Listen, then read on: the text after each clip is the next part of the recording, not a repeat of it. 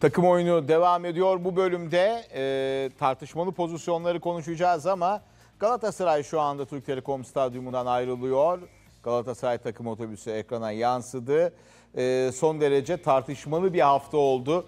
E, hakem kararları açısından e, çoğu zaman olduğu gibi standartların olmadığı bir haftaya tanıklık ettik. Pozisyonları e, arkadaşlarım ekrana getirirlerse eğer hızlıca onları konuşalım ve e, onları konuşurken biraz da maç üzerine detaylandırmalar da yapabiliriz. Ama lütfen tempolu gidelim.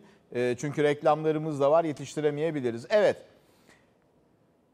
Karşılaşmanın hemen başında Galatasaray'ın pozisyonları vardı. Etkili ataklar vardı. Falcao'nun 4. dakikada e, çok gole yakın bir pozisyonu var. Yine Yani golcüye 7. dakikada bir Güray'ın bu. bir pozisyonu var. Golcüye yakışmayan bir vuruş bu. Gol olması lazım. Hızlı hızlı gidelim arkadaşlar lütfen.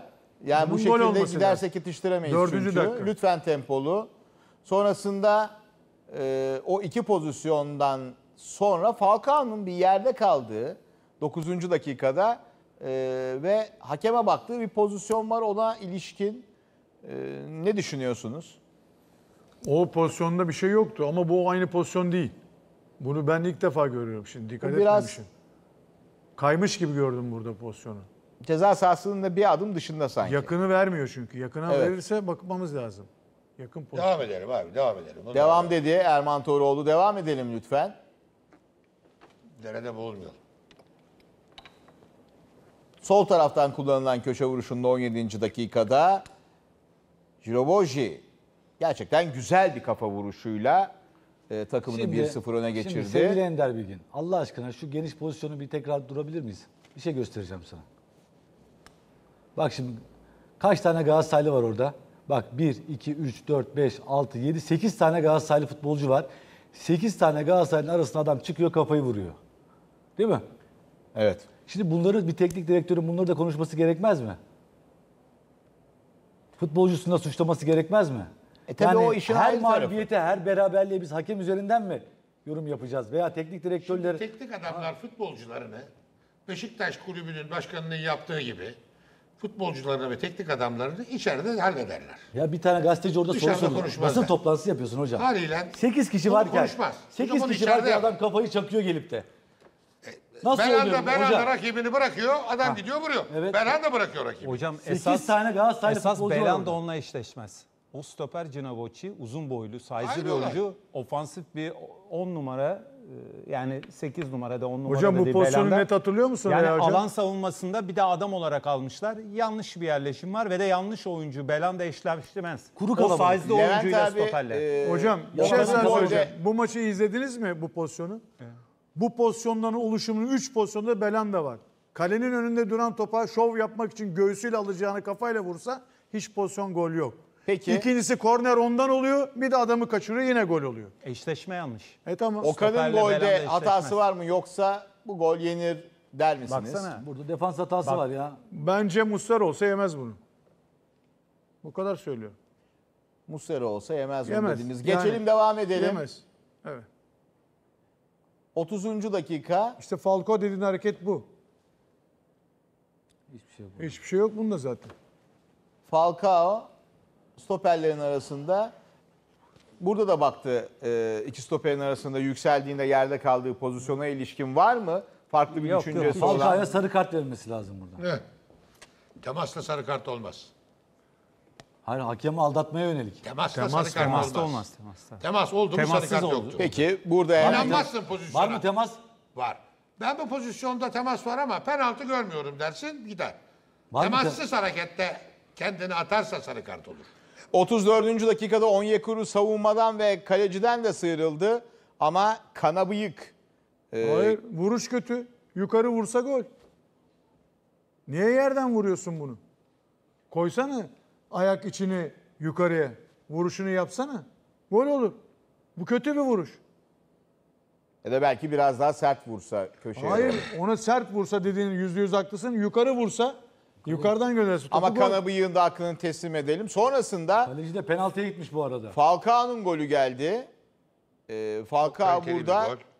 diğer köşeyi gösterip kalecinin dibinden, ayağının dibinden e, hemen solundan kendi sahandan topu ağlara yolladı. Bugün Tabii Gaziantep defansı da evlere şenlikte ha. Bir sefer 5 kişi hatta durmadılar. Her seferinde salkım saçak abi. Üzüm gibi durdular. Hocam Biri ilk yarı geldi. Galatasaray kaçırdıklarını atsa ilk yarı maçı koparmıştı. 4-1, 5-1 içeri girmişti. Dediğin Evet, doğru. evet. Çok kötü savunması. Evet. 40. dakikada Belhanda'nın golü var. Belhanda'nın da Çok iki güzel. kişiye öyle bir yatırışı var ki Ender çok tam us- usta işi usta gol işi, değil mi bravo, hocam? Aynen onu söyleyecektim. Çok usta işi değil mi? Tam Belanda'nın solosu. He? Birebir Evet. solo. Hocam Yani- bazen adamı çıldırtır. Bazen de işte böyle işler yapıyor. İşte Bu kadar- yenilen golde adamını bırakıyor ama burada da çok usta işi bir gol atıyor. Kaleciyi de öbür tarafa yolluyor ha. Aynen. Eminönü'ne yolluyor, Karaköy'den Aynen. atıyor. Oyuncuyu da aynı şekilde Eminönü, Karaköy. aynı Ahmet dediğin Çalık'ın kırmızı kart gördüğü pozisyona gelelim. Bu pozisyona ilişkin yorumlarınızı rica ediyorum. Kırmızı kartla ilgili bir tereddütü olan var mı? Bence yok. Bence. Belanda'nın hatalı bir pası, geriye oynamanın işte sıkıntısı. ne Belanda? Yani Belanda gibi bir oyuncu az önce senin dediğin gibi doğru tespit Ender. Usta işi gol. Şimdi böyle bir pas olmaz. Burada Ahmet Çalık gibi tecrübeli bir oyuncunun da hatası. Yani 55. dakika bu Git atsın 85'te olursun. Aa, gitsin Kenan Özer birebir bakalım Okan'la karşı karşıya kalsın. Atıyorsa atsın. Yani on- Kovala değil mi Şimdi hocam? Bile bile. 11'e 10. He, siz burada bu müdahaleye gerek yok. Atsın Yani- diyorsunuz. Ender, Topa dokunamazsan Ender, kırmızı göreceksin kesin. 80, 80 olur, 85 olur anlarım. Ya dersin ki sahası dışı, hani bile bile kendini feda etti, at, tamam. Attırdı oyundan, rakibini de durdurdu. 55. dakika bırak kaleci Bir Okan'la defans karşı karşıya kalsın Kenan Özer. şurada son gayret yapıp Aynen. yan yana gelip omuzu koyacaksın. Aynen. Yerse yemezse. Hocam, Omuzu ala- koyacaksın hocam. yerse yemezse. Hocam Ahmet Yersen Çalık, Kirşen var ya. Fazlası yok diyorsunuz. Ahmet Yok Fazlası acemi işi. Hocam Ahmet Çalık Kenan Özer'den ağır oyuncu. Hepimiz biliyoruz. Daha hızlı atletik Kenan Özer. Geçsin Son hocam bir en gayret. kötü müdahaleyi yapmaya bırak Okan'la Ee, karşı bir önceki karşıya kalsın. pozisyona gelebilir miyiz yine? Ee, hatalı pas Belhanda'dan. da Belhanda- İşte görmedim. bir gol attı, Belanda. iki gol yedirdi. Ne? Bu kadar basit. Ya iki gol yedi dersen oyuncuyu attırdı pardon. Bir adam Le- attırdı. Levent bir Düzemen siz yedirdi. aynı fikirde misiniz? Ahmet Çalık e, hani kaleciye bir şans deyip kaleciye Bak, bırakabilir miydi şimdi pozisyonu? 10 hepimiz. Oyuncu çok uyanır. Belki belki Ahmet Çalık'ın geldiğini görünce Belki oyuncu kendini ayağını önüne doğru attı. Ahmet Çalık ayağını Hafif atınca da değil mi buraya gitti. Bak burada Real Uyanık Hoca'nın söylediği doğru bir hücumcu. şey var. 85 olursa Vjovic'i indirmedi Alpay biliyorsun 96'da. İndirse maç 0-0 bitiyordu. Öyle bir pozisyon desen indir saygı duyarım. Ama sen bu pozisyon niye indir? Devam et abi belki kaleci şey yapmayacak. Geçemeyecek, şutunu atacak, kaleciden dönecek sen Ya kovalasana adamı. Hemen ceza Ender, yeri üzerinde Ender, Kenan'ı Ender. düşürdü. Bunu şimdi Ahmet. bench'te oturan 17 yaşında, U19 milli takımda da oynadı. 17'de şimdi 19'da oynuyor. Emin Bayram var stoper. Şimdi o yapsa 17 yaşında bir çocuk dersin ki çaylak oyuncu yaptı. Şimdi Ahmet Çalık tecrübeli, belirli yaşta bir oyuncu. A milli takıma gitmiş. Yani bu hareket 55. dakikada yapması çok büyük yanlış. Ya bu çocuğu öve öve bitiremiyorlardı biliyor musun Gençler Birliği'ndeyken. Nasıl bu hale geldi anlamıyorum ben vallahi. Valla ben ben kimi övdü bilmiyorum ama ben her zaman için tek hamleli oyuncu olduğunu söylüyorum bunu. Gençler Birliği'nde çok Çabuk bir oyuncu değil Emre. Niye aldın değil. Gençler Birliği'nden? Hocam Ya Kenan o nasıl gidiyor vücudunu bir para koyuyor? bıraktı orada, Kenan geldi, nasıl koyuyor Kenan? istedi. Kenan vücudunu nasıl koyuyor Ahmet'e? He? Koydu attı. At, hızlı, vücudunu koyuyor diyor ki dokun Tabii. bana direkt diyor Alayım. anladın mı attırayım Devam seni. edelim abi. Geç. oyuncu. Evet devam edelim. Penaltı, e, kırmızı Gayet kart normal. kararı doğru dedik. Ve bu dakikadan sonra Galatasaray sahada 10 kişi kaldı. Burada e, Belhanda'nın rakibine sarısı var. Bir müdahalesi kart gerektirir mi? Yüzüne eli gelmiyor, omuzuna değiyormuş gibi görüyorum ben burada. Bak Geliyor geliyor. yüzüne mi geliyor, omuzuna mı geliyor? Sonuçta bir daha şey yapıyor. Yakın plandan Ya futbolcu aldatıyor yani ahmak deyip kendini Tabii canım, o attırmaya çalışıyor. Olacak kadar bir şey yok Belhanda ve ama- Kenan'ın bir önceki pozisyondan Hocam bu sarıları iki var. oyuncu, bu iki oyuncu ikisi de bugün oyunu çomaklamak için her altı Aynen. yaptılar. O da o da.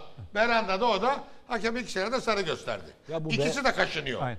Bu Ben hakem olsam var ya yakalarım ikisini Bak, atarım. Çat hocam, çat. ee, Gidin lan dışarı. Hocam bu Belanda'nın Fenerbahçe'de ismi geçmişti biliyorsun daha önce. Aykut Hoca'nın, Aykut Kocaman vardı o zaman Fenerbahçe'nin başında. Almama nedeni ne biliyorsun değil mi? Bir, çok rövanş faali yapıyor. Saha içerisinde iki devamlılığı yok. Yani Ama Belanda'nın orada bir de 10 transfer milyon, 12 edilmeme nedeni. olayları vardı ya. Babacım çok ilgilendiler Belanda'yla. Biliyorum, Gerçi biliyorum. Ya ilgilendiler. Şeye manşet oldu ya. Bir, 2011'de. bir çok Tabii. rövanş faali yapıyor. Yani bir şeye sinirlendiği zaman saha içerisinde mutlaka ucunu almaya çalışıyor plakayı alıp. İkincisi Yapıyor de yapıyor devamlılık. işler yapıyor. Hocam Devamlılık. Her an el bombası. Hocam Ender de söyledi ya daha önceki pozisyonda şimdi Kenan Özel Ama büyük bir topçu. itişti değil mi? Boğazına falan İsterse. böyle sarıldı. sarı bir kart üç gördü. beş Bak dakika şimdi önce. sarı kart gördü. Başka oyuncu olsa Kenan'ın geldiğini görüyor. Elini kaldırıyor. Kenan'a yapıyor. Görmedim falan değil o. Başka Gaziantep'li oyuncu gelseydi o elini kaldırmazdı biliyor musun? Onunla hala rövanş yapma Peki ne derdinde oldu? sarı kart olayından. Peki ne oldu? Fatih oyundan aldı. Evet. Baktı gidecek. Tabii atılacak. E Bir bu daha maçta o hamlede. zaman takımını niye bırakıyorsun? Takım kalmış 10 kişi. Aynen. Gideceğini bilir sezon sonunda ondan. Çıkacaksın sahneye, top kullanacaksın, topu alıp veren adamsın. Bu maç Yani bunlar- hem de hocam bu maçta bir Burada de kesin gerekir mi gerekmez mi ne dersiniz? Hocam bir de Galatasaray var ya ilk Gerekmez. iki şansını da böylece kaybetti. Galatasaray seneye daha küçülecek bütçe olarak daha büyük sıkıntılar bekliyor. Ekonomik anlamda ilk ikiyi de kaybetti. Şampiyonlar şimdi Şampiyonlar Ligi Ligi gitmezse işi zor. Hocam şampiyonu şimdi şampiyonluk şansını bitirdi. Şampiyonlar Ligi öneleme şansını da bitirdi bana göre. Şimdi seneye daha da küçülecek. Böyle bir Belanda gibi çok ciddi rakamlar alan bir oyuncunun burada yaptığı resmen sorumsuzluk. Yani bu maçı yenersin. Bu maç böyle biter. Başakşehir sonra Trabzon oynuyorsun. Bir şansını zorlarsın. Fatih gözden çıkar oynatmıyordu ya. Evet. Mecbur oynattı. Abi geçelim tamam.